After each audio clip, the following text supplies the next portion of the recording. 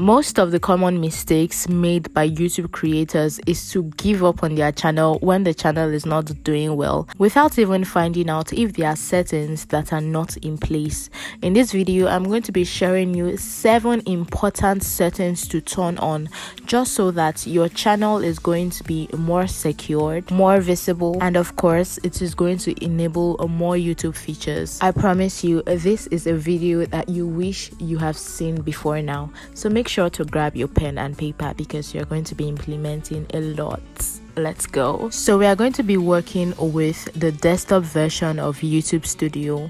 If you're working with your phone head over to your browser preferably the google chrome browser. Type on the search bar youtube studio desktop version. When it loads up long press on the screen and four options are going to come up. Click on open a new tab. Further go ahead and click on the new tab. This is going to load up YouTube Studio in a desktop format on your mobile phone. Number one setting in my list is location. Click on the settings icon in the bottom corner of the page. Now further go ahead and select channel. Under channel, click on basic info. Now click on country of residence and make sure to put your exact country country where you are based at the moment. Some people might want to play smart and put the US just so that their CPM can be higher, but by doing that you are going to incur taxes and you will have issues getting your payment once your channel is monetized. Number two settings is adding keywords that people can use to look for your channel. Still under the option of channel and basic info you're going to see a keyword box. In that box write in individual keywords that are related to your channel so that when people search for any of these keywords your channel is going to be among the ones youtube is going to recommend. You can can either enter comma or press on enter to separate the keywords. When you are done adding as multiple keywords as you want, you can go ahead and click on save. Settings number three is identifying your channel audience. Still on that channel option, click on advanced settings. Here you are going to note if you upload content meant for kids or not. I'm going to tell you the reasons why this is important. YouTube tries to create a safe environment for kids that is 13 years and below is identified as kids on YouTube. If your content is not about cartoons or specific kids like content, please click on not meant for kids. Another reason why this is important is high ticket advertisers are obviously not going to beat their ads on a channel that is meant for kids. So now that you have an understanding, click on your preference and make sure to save. The next setting we want to give attention to is contact info. 90% of YouTube creators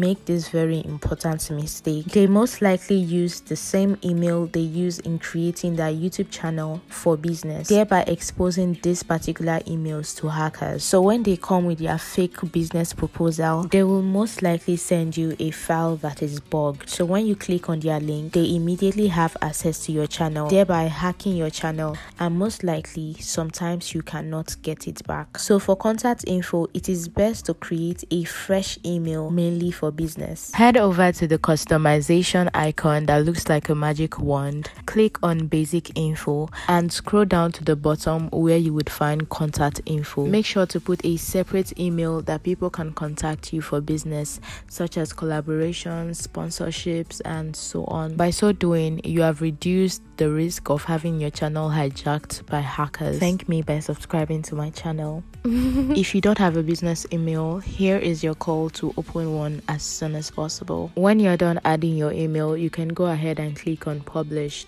The next setting we'll be looking at is the feature eligibility. This is going to enable features that has been restricted prior to these settings.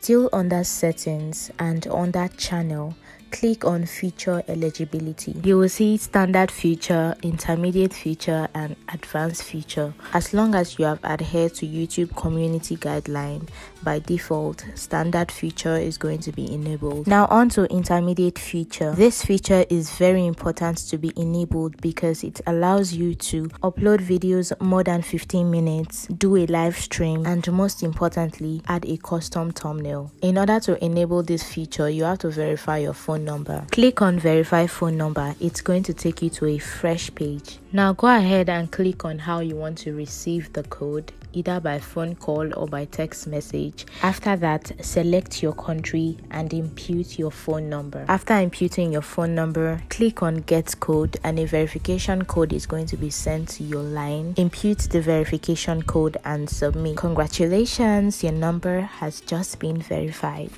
now, moving forward to advanced feature. This is also very important because this feature allows you to apply for monetization, add clickable links, access community tabs, pin comments, and so much more. Now, to enable this feature, we are going to click on access features you're going to see three different methods you can use to verify your identity. The fastest method is to use video verification. Click on use video verification and Google is going to send a verification email to your mail. The process from here is quite easy. Just go to your mail and verify the message that got in. Allow Google access to your phone camera and stare at the camera for at least 30 seconds. Tilt your face to whatever direction you are being led and after you are done click on submit and wait for them to approve the approval might take a day or two the next setting on my list is upload defaults. Still under settings, click on upload defaults. Here you can type automatic descriptions and tags that can go up with your videos every time that you upload.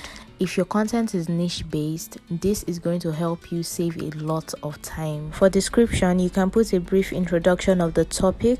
You can add your social media handles. You can add links to other of your videos that you want to promote. If you have other channels you want to promote, you can as well add the links in the description. After adding your description, now move over to visibility and click on unlisted just so that when you are posting your video and it is not entirely ready, you can still make changes and click on public when you want it to go live. And of course, you can do the same for tags. Well, since we're already here, I'll quickly like to recommend an SEO tool called Morning Fame. When it comes to video optimization, ranging from keyword research, comparing thumbnails, tags, and so much more, Morning Fame is my go to tool and I'm going to leave a link in the description just so you can check it out for free for the first one month. Now, from basic info, we are going to move on to advanced settings. You're going to see automatic chapters. Automatic chapters can also be referred to as timestamps. Chapters or timestamps are a must have if you are covering multiple topics in a video. It helps to increase retention and watch time as the viewer can easily go to the chapter that best suits their interests. Clicking on this is going to activate that feature, but just note that it is not always accurate. But I would advise you not to click, but always type your timestamps or your chapters manually. Now, the next in my list is